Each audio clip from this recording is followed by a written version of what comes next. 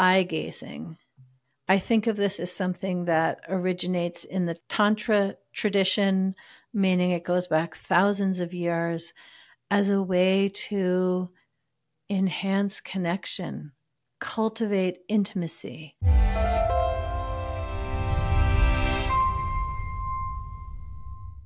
And there's some very interesting studies about this too. But actually, let me just describe it consists of sitting comfortably or standing, and each of you look at one another. You face one another, and you look at your spouse, and your spouse looks at you. There's a little bit more to it, but eye gazing is a very accurate description. There's no double entendre. You're just looking at one another, gazing in one another's eyes. And as I say, there are a number of very interesting studies looking at different benefits of eye gazing. Uh, one is that the longer someone stares at someone else's face, the more attracted they feel to it. It has been shown to increase the feeling of connection. And when it feels like there's a distance between the two of you, eye gazing can close that distance. Now, the way to do this is to set a timer.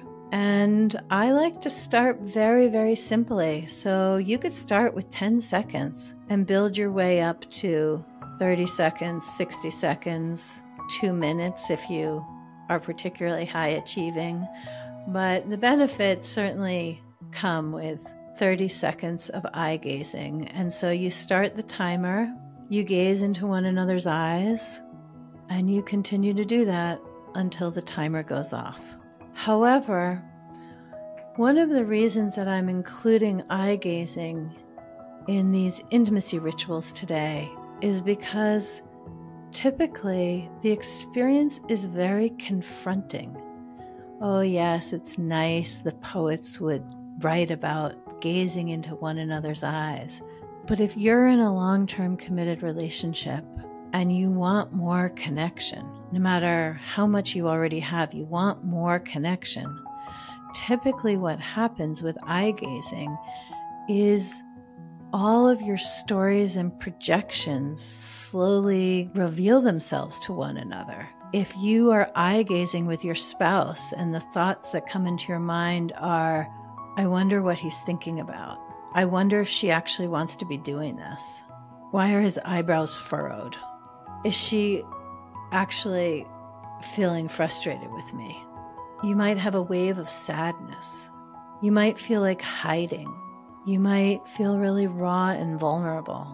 You might be fascinated by what you're looking at, but one of the things about eye gazing, which is so profound for each person who does this with intentionality, is that there's such a beautiful opportunity to become more aware of how it feels to both have your attention on your spouse whom you're gazing at while also deeply having your attention on yourself and your internal experience and whatever is happening in your heart and mind. This is a very profound experience when you really allow the fullness of it to happen because it just reveals, as I say, the stories you're making up in your head and the projections and the insecurities.